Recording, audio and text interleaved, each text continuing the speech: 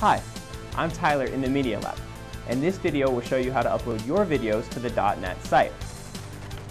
The first step is to go to your computer and log on to the sbchannels.net website.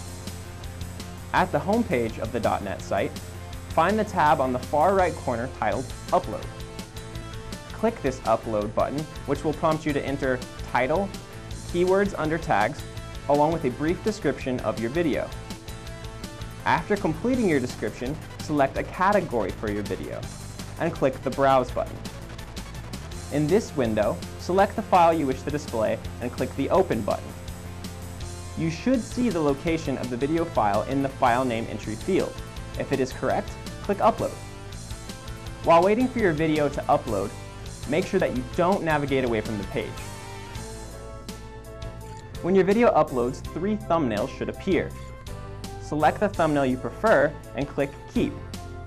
Now that your video is uploaded, click Watch your video now. Watch your video and make sure that it meets your standards.